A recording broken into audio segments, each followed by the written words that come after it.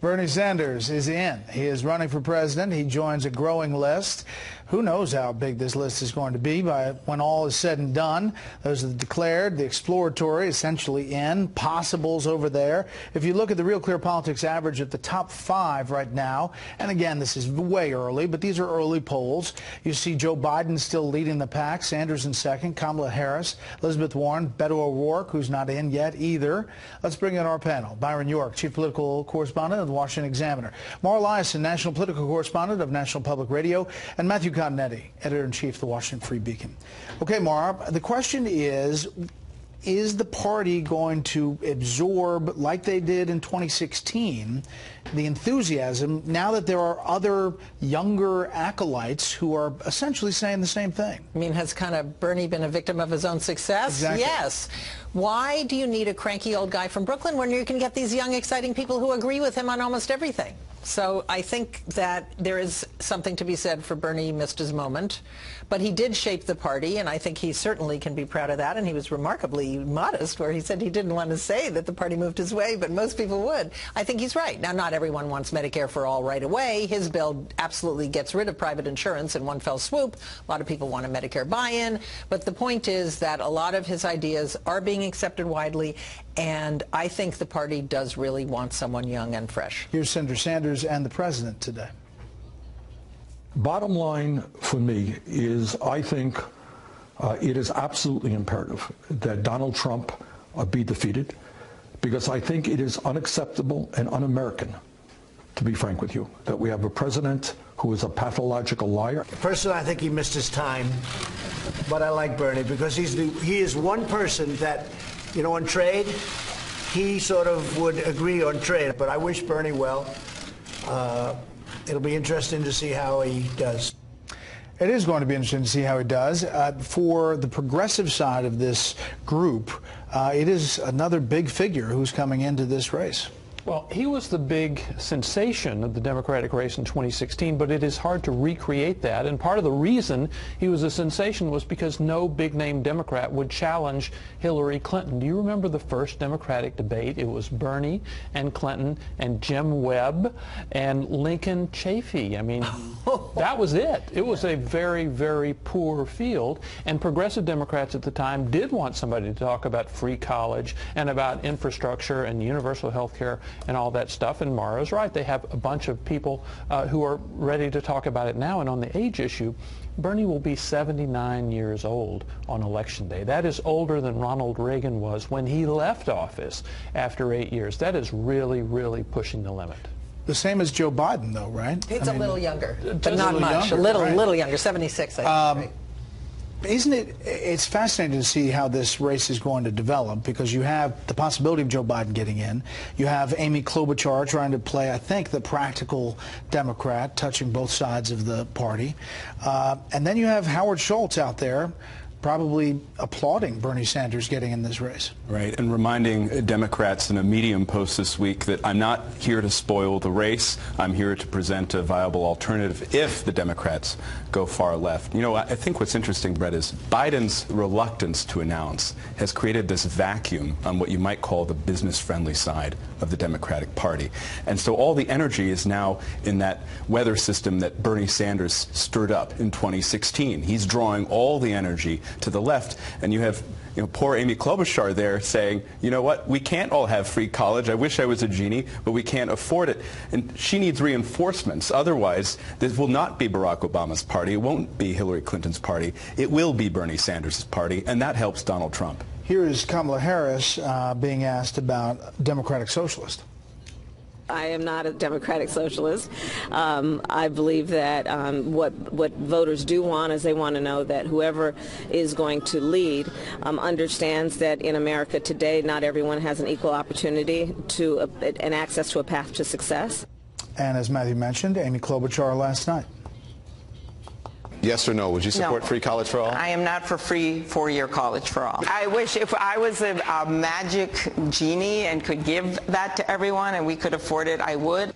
I mean, it seems like there's this aspiration, and then there's the realism, and we're gonna. This battle is going to be happening throughout. She said, "I am not for free four-year college Yeah. for all." The definition of a right-winger in the Democratic Party is you're for free two-year college Or for all, debt-free, debt-free which she was, uh, but is not for four years. So I, I, I do think, in terms of inspiring voters and, and getting people's attention, when you start talking, saying things like, "Well, that's just not practical. We can't afford that kind of thing," that is not going to set the Democratic Party on fire. Let me ask you a question a different way. Go yeah. ahead. Oh, except Democrats want to beat Donald Trump.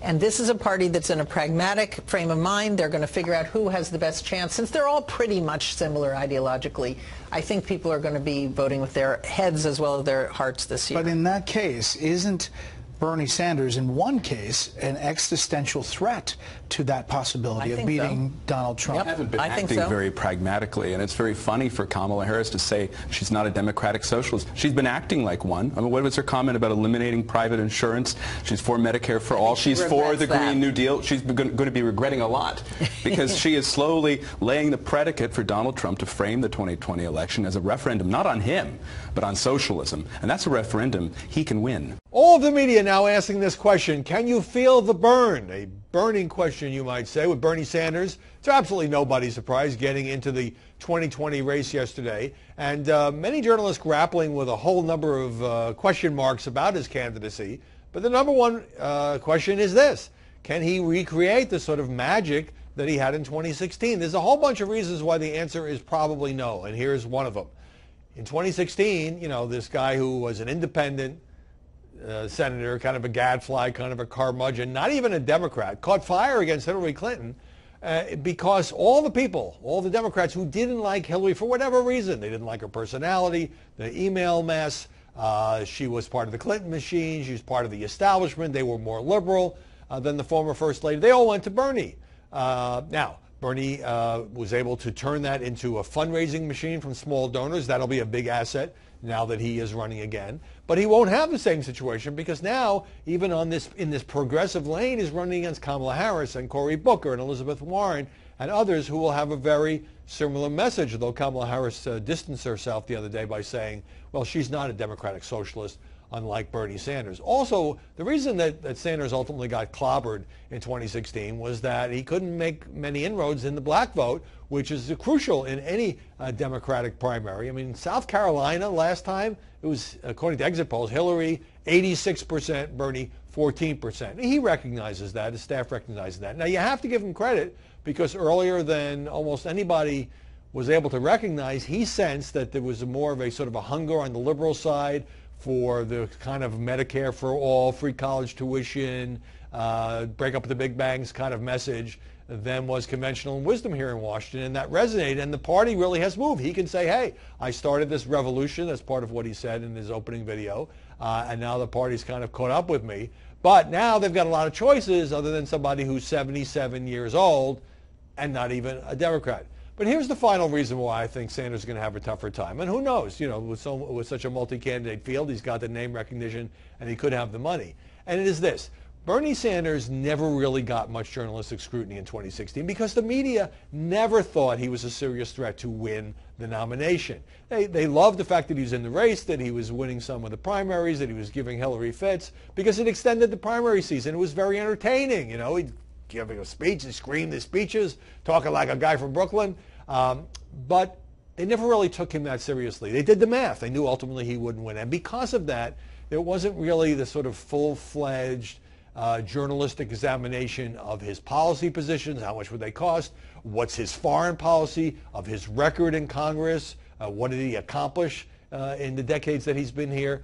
Uh, this time around, if Bernie Sanders gets some traction, that won't be the case. This time around, if he is seen as somebody who actually could win the nomination, he'll get the full media inspection.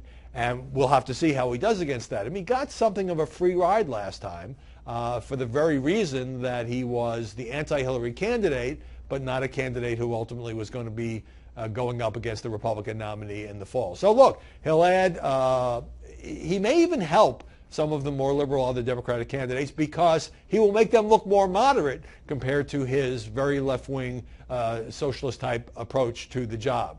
So the more the merrier. Uh, I'll enjoy watching Bernie in action. But the, those who think he's going to come in and just because he's uh, number two in the polls to Joe Biden now, it's basically name recognition. Those who think he's going to come in and be the same formidable force in the Democratic Party as he was three years ago, they may have another thing coming.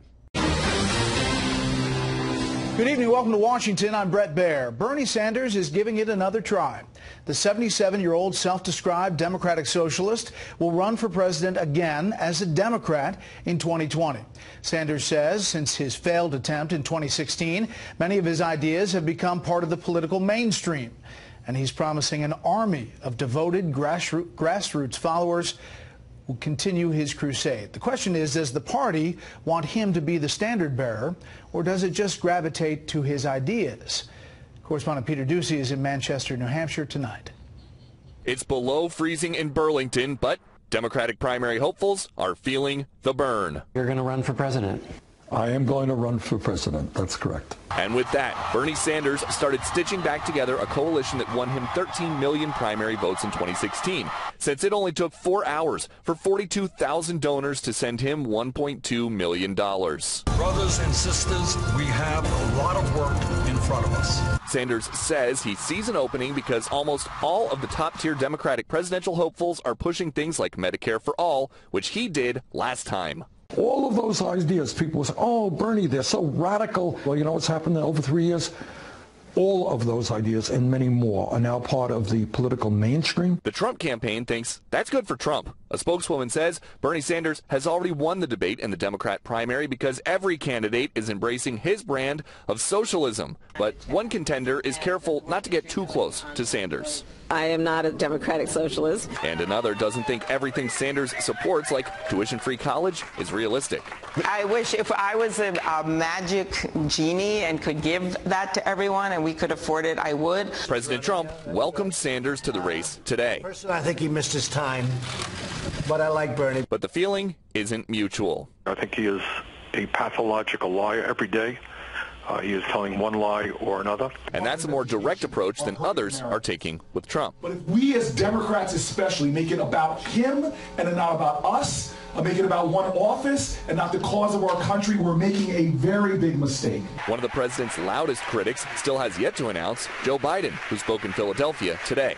I don't begrudge anybody making a million or hundreds of millions of dollars, but I do think there's some shared responsibility and it's not being shared fairly. New DNC rules require that everybody who wants to run as a Democrat has to be a Democrat, and Sanders is an independent. But in New Hampshire, that shouldn't matter. We in New Hampshire consider him a Democrat. He's been very supportive of our candidates and our party for decades. Uh, so, you know, he can call himself what he wants. So the 77-year-old Democratic Socialist thinks the second time is a charm. What's going to be different this time? we're going to win. Even during the last campaign, President Trump sympathized with Sanders, saying he thought it was unfair that Democrats helped Hillary Clinton get the nomination. But while saying that, the president called him Crazy Bernie, one of the few Trump nicknames that might be grandfathered in to the 2020 race. Bret? Peter Doocy in New Hampshire tonight. Peter, thanks.